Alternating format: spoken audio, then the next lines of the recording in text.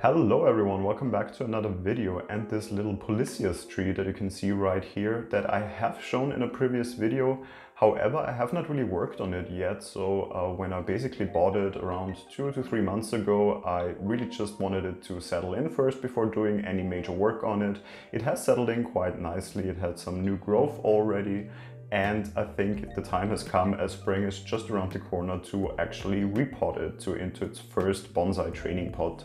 Right now I can show you it's still in a cover pot and of course within this normal plastic pots and I want to actually get it in its first training pot which I can show you right here, a self-made one and definitely for a first training pot more than enough for this tree. So the plan for this tree today is not any pruning because actually I'm quite happy with the foliage as it is at the moment. I also want to see then how it looks in the final pot. The main task is getting it out of the pot it is in right now and transferring it and of course giving it a good watering afterwards, making sure it gets settled into this pot and hopefully having then a nice and healthy tree that I can work on then more and more in the future. Before we start actually repotting, I want to give you a quick overview of the tree and some of the reasoning why I bought it. You can probably already see this big wound here that I find gives it so much character and which was one of the reasons I actually bought it. And the trunk itself is of course enormous on this tree, which of course makes it almost predestined to become a bonsai tree.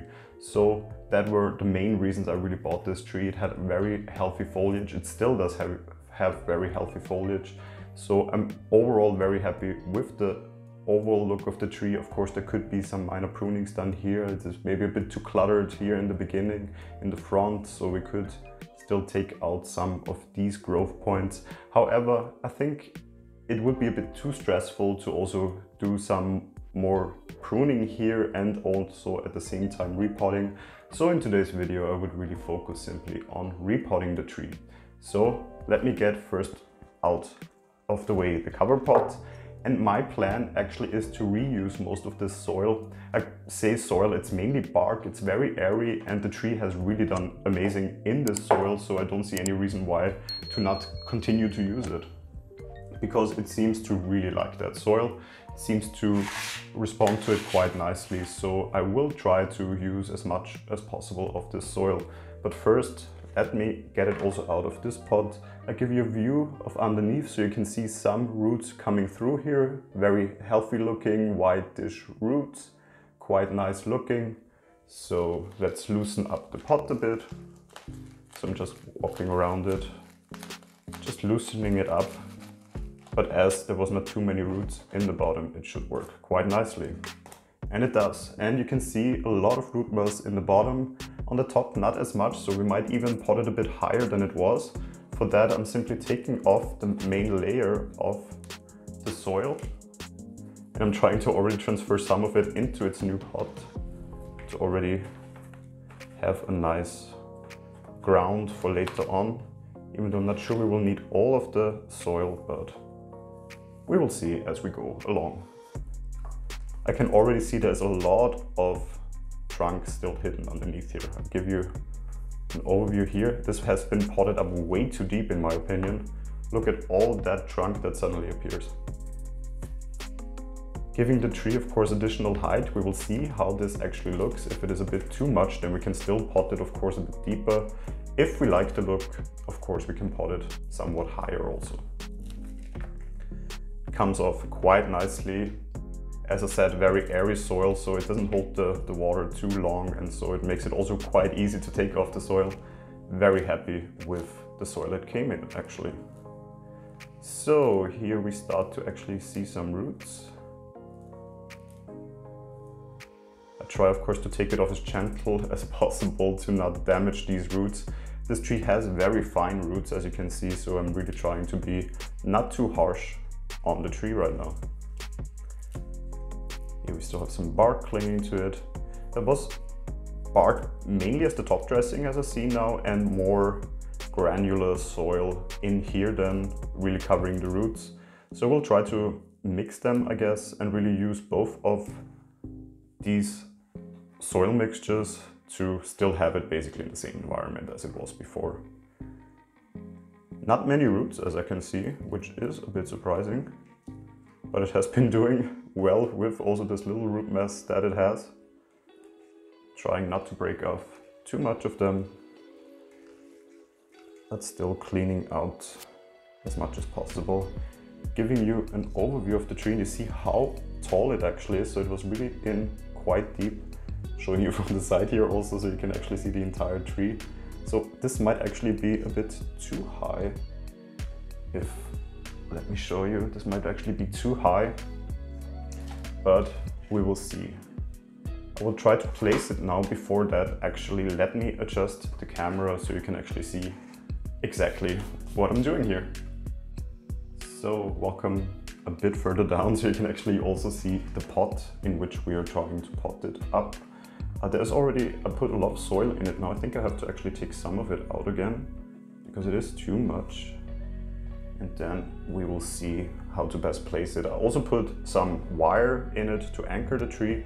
However, as it doesn't really have any thick roots, I'm not quite sure how we best anchor this tree, if we actually need the wire or if we just pot it a bit deeper and then have it fit in here. Because right now, I find it a bit too, too tall actually this way. It looks a bit too unnatural. So I'm trying to actually pot it deeper than it, than it is at the moment. So let me just basically wiggle it in here as much as possible.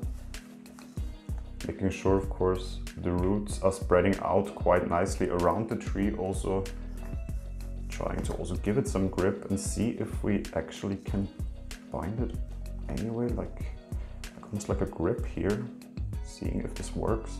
They does definitely give it initial grip already. Uh, I'm just realizing I'm at the wrong side right now, so I should, oh no, here we are might want to readjust it a bit as I see now in this direction to show this nice looking, old looking wound here a bit more. That already seems nice and I would still fill out all the little nooks and crannies here with the soil that we had already on the tree that it responded quite nicely to. And I do definitely see a lot of bark in this soil, which should be quite fine, because my bigger fear is actually that it would be too dense than if I switch to another soil now, and that the water wouldn't drain enough. And that is something I'm trying to avoid. I had that happen on another tree that I repotted actually, that was close to actually dying from root rot. I hope I caught it in time. It's still recovering at the moment, but this one here, I really try to avoid doing that by simply reusing the soil I already saw the tree is responding nicely to. So making sure we really fill out all the areas here.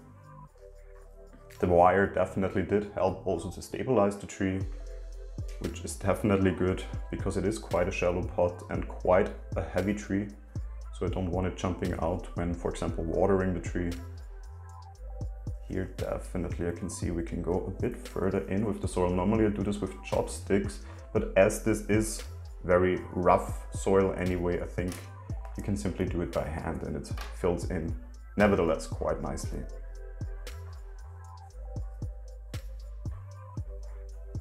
Here on this side I can see we can still put some more soil in, really make sure we just fill all those little areas and crevices that do appear when you repot a tree to make sure we don't have any air bubbles or air pockets in here when watering, where water then might collect and then giving us some trouble. So we do try to avoid this at this point. But I think we have filled it out quite nicely. Looking around the tree, seeing if I still see anywhere some problematic areas. Here is a root that came off we can take out. But I think I'm quite happy with the overall look of the tree as it is now. I do see, as I had it facing in this direction to the sun, it's leaning a bit in this direction, so I will definitely make sure I put it the other way around now to actually even that out a little bit again. But all in all, I'm quite happy with how it looks. I will also put in here some more footage of the entire tree. I know it's a bit difficult to do it here in vertical format, so just let me put some more footage of it in here, how it actually looks as the oval tree. A bit, a bit taller than I actually expected, but I'm not too mad about that. Still gives the tree a lot of character and I do really enjoy the overall look of this tree because it has simply such an enormous trunk that it really, really gives it a nice and interesting look.